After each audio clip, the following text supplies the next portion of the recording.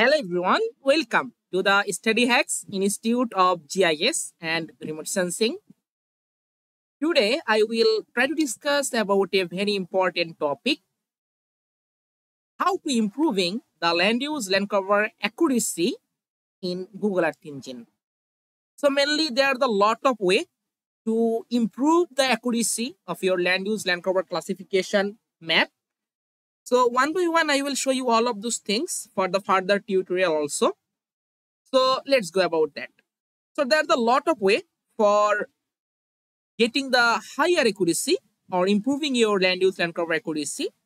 So first one step is that you can adding some external prediction bands in your land use land cover map. Such as if you want, you can add the NDVI, NWI, NDBI, MNDWI, BSI, mainly barren soil index, NDBI, normalized difference uh, build-up index, as well as you can also add here the EVI, so which is the enhanced vegetation index, as well as you can also add here the SAVI or soil adjusted vegetation. Not only for that, if you want, you can also add here the more other indices for your as a prediction band in your algorithm. Then we can easily get the higher accuracy. So mainly how it will be work. So mainly first of all, when you want to make the land use land cover classification map, we have to need a data set. So mainly this data set is the combine of the different types of bands pixel value. It also called the spectral signature. Okay. Suppose you want to make the land use land cover classification map and you want to add here the prediction bands such as near infrared, red, blue, green, shortwave infrared. Okay, so this type of band you want to add as a prediction band. And it's a totally internal band. This type of band we can easily access from the satellite images. And we can easily make the spectral signature. But when you want to adding this type of external prediction band, such as NDVI, NWI, NDVI, MNDWI, BSI, NDVI, or EVI, or any other types of indices, then your data set will be more strong. Okay, because suppose you want to make the classification for suppose uh, agricultural land and also vegetation. So first of all, you can see the NDVI value. NDVI value mainly agricultural land we can get the better than normal vegetation. Okay, so in this time NDVI, it also easily make the distinguished between the agricultural land and normal vegetation as well as NWI, NDVI. So all of those index we can easily get the distinguish for our specific feature on the surface. So that's why it's a one kind of method how we can easily uh, add the external band. I will show you the later.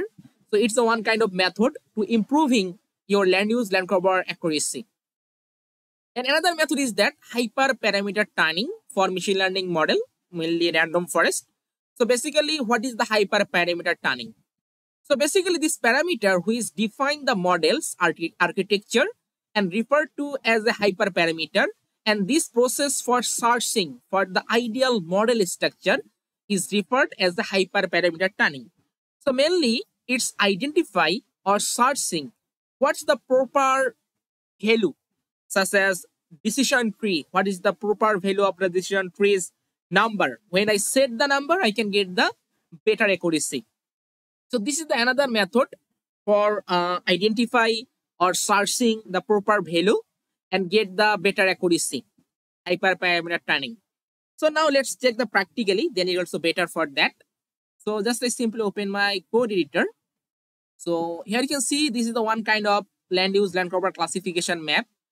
So mainly it classified, you can see the water body, uh, agriculture, forest, vegetation, settlement, barren land, wetland.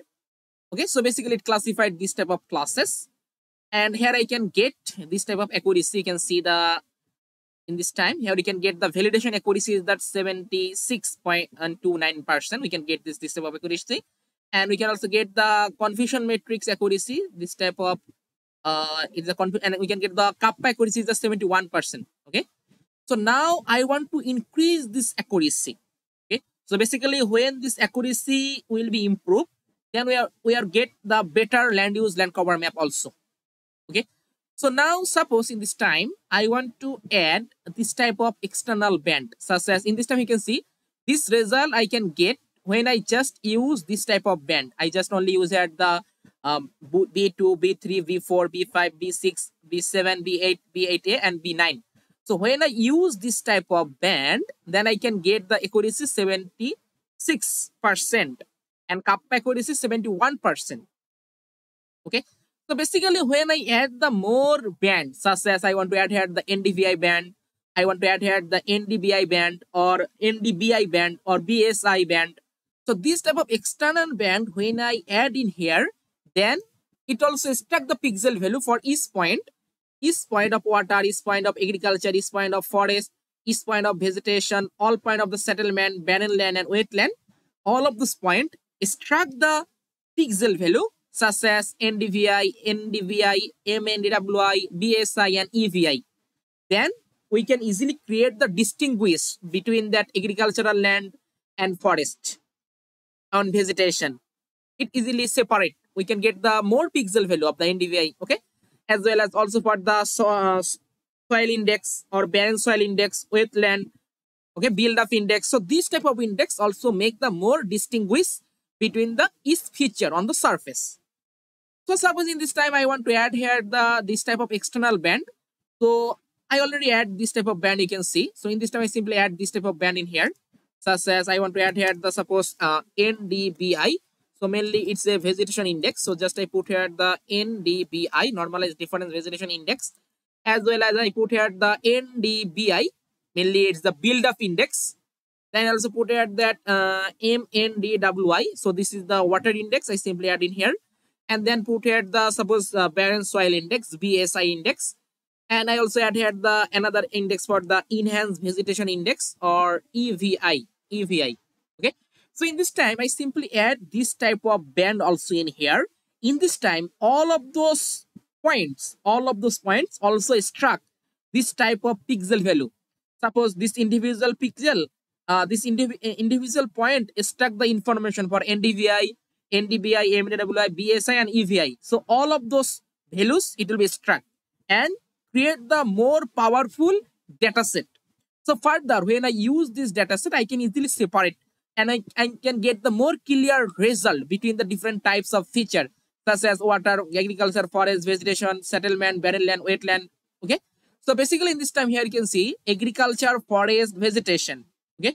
So this type of class, agriculture, forest, vegetation, all of these things is a totally is the similar spectral signature.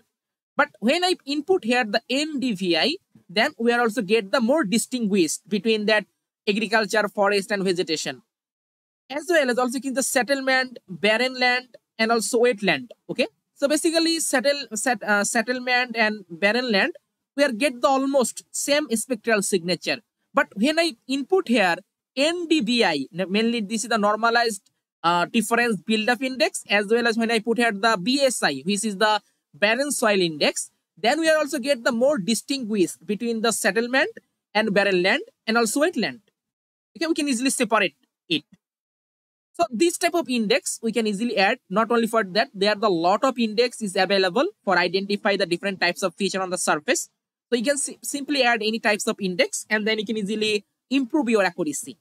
So now let's check about that. After adding this type of uh, index what the result i can got? In this time you can see it show the 76 percent and 71 percent. So now i simply run the code and check the accuracy again after adding all of those uh, new prediction band. So let's go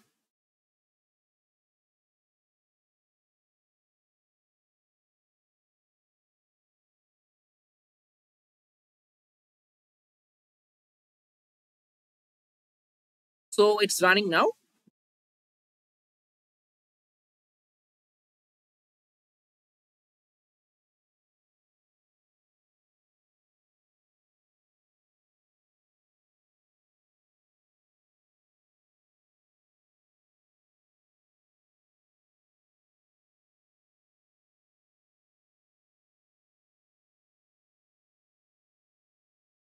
So it loaded.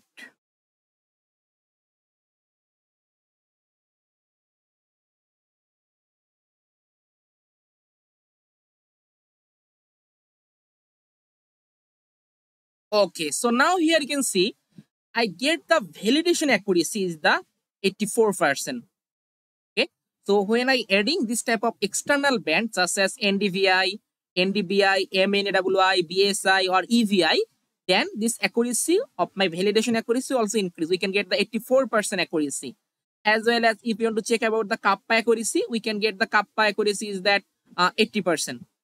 Okay, so now it also improving my accuracy when I can get the, it's improving the accuracy, then I can get the better uh, land use land cover classification map. So this is the one kind of way we can easily add the some external prediction band and stack this pixel value and then make the better accuracy. Not only for the band, we are also add the different types of index also, and then we can easily get the better, better accuracy. And another way is that if you want, you can also use here the hyperparameter tuning. So mainly it's identify Uh, or searching for the ideal value of the decision number, we can simply put this value, then we can also get the better accuracy. So further tutorial also discuss about the hyperparameter tuning, how we can easily make the hyperparameter tuning using the Google Earth Engine platform and make the better accuracy. Okay, so in the meantime, I also give you an announcement about our upcoming online training program. So basically, this training program will be start on the 8th December uh, it is a total new batch if you want to join our uh, new batch then you can easily contact with this whatsapp number as well as you can also contact with this email. So basically it's the total seven days online training program for the beginners who don't have any knowledge about the google earth engine or who don't have any knowledge about that uh, javascript programming or python programming. Okay? Uh, you can see all of those course content in this time. So i added all of those things in this video description. You can simply check it I hope you can easily get the more information about this upcoming online training program. So you can see all of those uh, content I already added in my video description. You can simply check it. As well as you can get the some uh, benefit about this online training program. When you can complete your all of those things, you can get that e-certificate from us. As well as you can also get the all of the slide PDF, all of those practice code you can easily get. You can get the, all of those recorded video class. As well as you can get the lifetime teaching support. Okay. So it's very important for that when anyone uh, uh, learn the Google Earth Engine program as the beginners, they face a lot of problem. Okay. And so that's why you need the continuous support. Okay. So this support you can get when you want to join our online training program for any issue or any code problem, you can easily get the lifetime teaching support. So if you want to join our upcoming online training program on the 8th December, simply contact in the WhatsApp number. As well, you can also contact with this email. Then you can easily make the registration. And after that, you can join our new Google Classroom as well as you can also access our new WhatsApp group about the upcoming batch. Okay. So today is no more. Stay happy, stay safe. Thank you for watching that.